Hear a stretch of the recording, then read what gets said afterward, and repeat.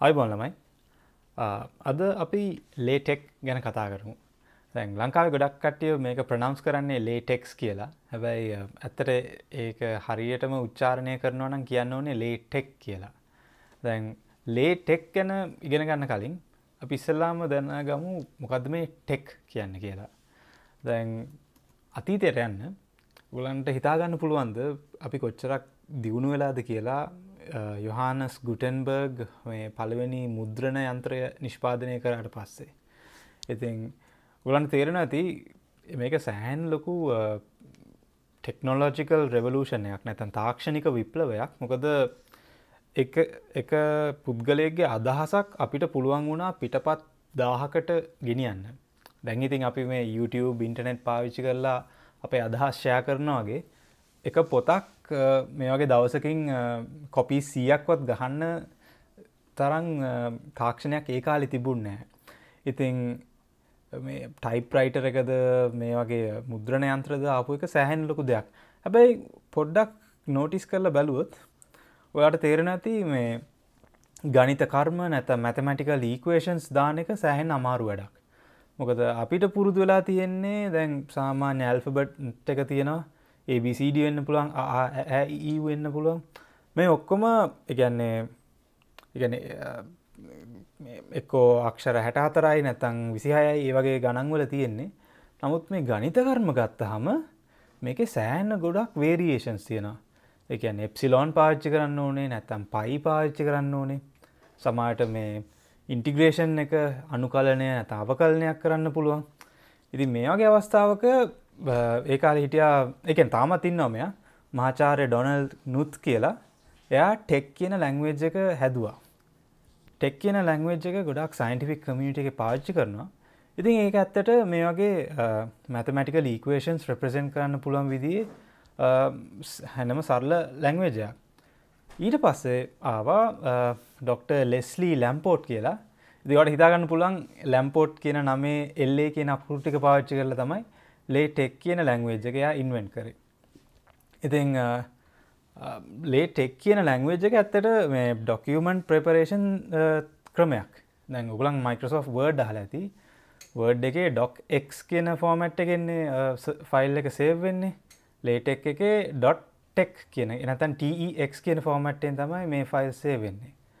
අපි දැ Microsoft word ගැන කතා කරොත් වර්ඩ් වල ඔගලන් දන්න ඇති වට්සීස් වච්චු ගෙට් එකන්නේ වා ටයිප් කරන දේ තමයි වට ප්‍රින්ට් කරන්න පුළුවන් වෙන්නේ. Uh, ද මේක ගොඩක් කට්ටි කැමති මොකද හරිම පහසු ක්‍රමයක්. නමුත් uh, සයින්ටිෆික් කමිටිය කට්ටියට ඕනේ ඒවයින් තොරව නිකං සාමාන්‍යෙන් ප්‍රෝග්‍රෑම් කරනවාගේ ටයිප් කරලා තමාට ඕන ඉක්වේෂන් එක එවෙලෙම දාගෙන තමාට ඕන පින්තුරු ටික ඒ තැනේ දාගෙන දිගටම ටයිප් කරගෙන යන්න. දැ වර්ඩ් එක මේ වැඩේ කරන්න සෑහෙන් නමාරුයි කොරි ෆිගයක් දැම්මාම එහට යනවා මෙහට යනවා. නැතන් ඊක්වේෂණයක් ගහන්න ගියාම වෙනම මේ ඉන්සට් කමාන්්ඩ එකට ගිහිල්ලා සැහැන් වෙලාක් යනවා. ඉතින් සයින්ටිස්ල මේකට එච්චර ආස නැහැ. දැන් මම ලේටෙක් වලින් ටයිප් කරන්න පාච්චි කරන්න ඕවලි ඕලි ගොඩක් කටේ පාච්චි කරන මොකද එක ඔන්ලයින් තියෙනෙද දැන් ඕලිෆල වාසිය තමයි එක එක කලව් ස්ටෝරේජ් ඇතියෙන ඉතින් වගේ තීසිස් එක වගේ වැදගත් ඩොකිමෙන්ටයක් ගහනවා නම් කලව්ඩේ තියාගන්න පුළුවන්. කම්පියුටරේට මොනාරි වුණනම් කිසි ප්‍රශ්නයක් වෙන්න මොකද එකඒ ඩවන්ලෝඩ් කරගෙන වැඩි කරගෙන යන්න පුළුවන්. ඒත් එක්කම එක ඕපන් සෝස් ඉතින් ෆ්‍රී කිසිම ගානක් අය වෙන්න නැහැ. එකන්නේ පේඩවර්ෂන්ස් තියෙනවා. හැබැයි ෆ්‍රීකින් ගොඩක් දෙවල් කරගන්න පුළුවන්. එත් එක්කම ඒකෙන් පුළුවන් කලබරේෂන්ස් කරන්න. එකන්නේ වගේ තීසිස් එක නැත්තං රිසර්ච් පේප එක වගේ දෙයක් ගහනවනම් අනිත් කලබරේටස් ලව ඉන්වයිට කරලා ඒගලන්ට එකම ඩොකිමෙන්ටර් එක ටයිප් කරගෙන යන්න පුළුවන්. ඉතින් මේ හේතු හින්දා මම කැමති ඕලි එක වැඩ කරන්න. දැන් අපිට ඔෆ්ලයින් වර්ෂන්ස් කනත් කතාගන්න පුළුවන් හදිසියෙන් ඉන්ටනෙට් එක ප්‍රශ්නයක් නම්. එම නැත්තං ඕලිෆ් ගන්න එක සෑන් වටිනවා. දැන් කවුද ලේටෙක් පාච්චි කරන්නේ ගනිත් මැතමටිෂන්ස්ලා භෞතික විද්‍යාඥයන් එන්ජිනේරු කරන කට්ටිය කම්පිට සයින්ස් එකනොමික්ස් සයිකොලජි මේ හැමෝම ලේටෙක් පාච්චි කරනවා. මොකද මැතමටික ලීක්වේෂණයක් ලියන්න ගියාම ලේටෙක් එක සෑන්න ලේසි ම මෙතනදී පොඩ කරුණු කීපයක් කියන්න ඇයි සමහරකට්ටිය ලේටෙක්වලට කැමති කියලා. එක දෙයක් තමයි ඒකේ රයිටිං එක විතර යවට ෆෝකස් කරන් තියෙන්නේ. එත් එත් එක්ක මේක මැතමටිකල් ඊක්වේෂන්ස් වලට සෑහෙන්න ලේසි. ඉළඟදේ තමයි බිබ්ලියෝග්‍රෆිය එක. දැන් බිබ්ලියෝග්‍රෆි කියන්නේ දැන් ඔයාගේ රිසර්ච්චක් කරන්න ගොඩක් රෙෆරන්සස් ගත්තනම් එක එක කට්ටියෙක් කරපු වැඩ බැලුවනම් ඒගොල්ලන්ගේ බිබ්ලියෝග්‍රෆිය එක වට කෙලින්ම එක ෆයිල්ලයකට දාලා ඒක කැමති වෙලාවේ රෙෆරන්ස එක හැටියට වාට කෝල් කරන්න පුළන් ඒත් එක්කම වගේ ෆිගර්ස් ටේබල්ස් වගේ දේවල් තියෙනවනම් ඒව ලේබල් කරන්න සෑහෙන්න ලේසි ලේටෙක් පාච්චි කරනවන ඉතින් මේ හේතු හින්දම මේ ලේටෙක් සයින්ටිෆික් කමියට ගන්න සෑහෙන්න වටිනවා. ආදම් මෙතනදී මම පෙන්න්නම් එක්සම්පල් ෆයිල් එකක් ලේටෙක් පාවිච්චි කරලා හදපු රීසර්ච් පේප එකක්.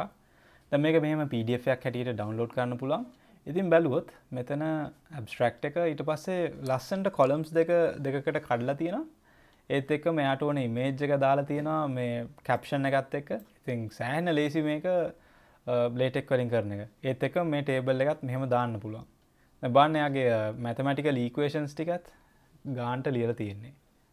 ඉති මේක එක උදාහරණයක්.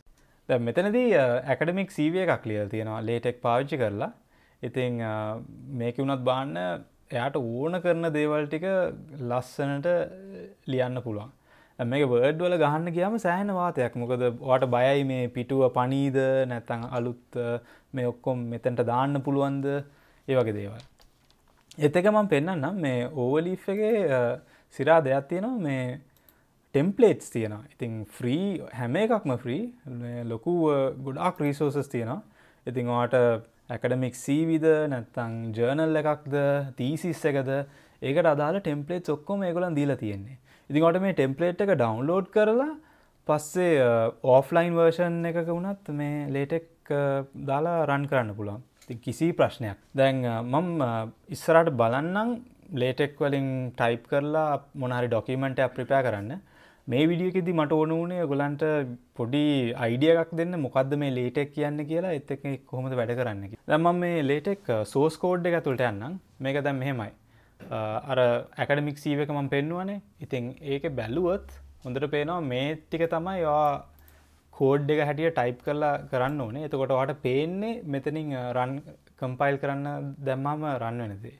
ඉති මේක මහලකු දෙයක් නෑ මොකද ටෙම්පලේට් එක තියෙන හින්දා වාට තියෙන්නේ එතන අදාළ හිස්සනට වගේදේ ටයිප් කරගෙන යන එක අපි ඉස්සරහට තියෙන වීඩියෝස් වලදී තාකරුම් කොහොමද මේ ඩොකිමෙන්ටය ප්‍රිපෑ කරන්න කියලා. දැනට එච්චරයි. මහිතන්නේ මොනහරි අයිඩියක් ආවඇති ලේටෙක් ගැන අපි ඊළඟ විඩියෝස්වලදි බලමු කොහොමද ඩොකිමන්ත් සදන්න කියලා. එන ජයවා ආයිබෝන්.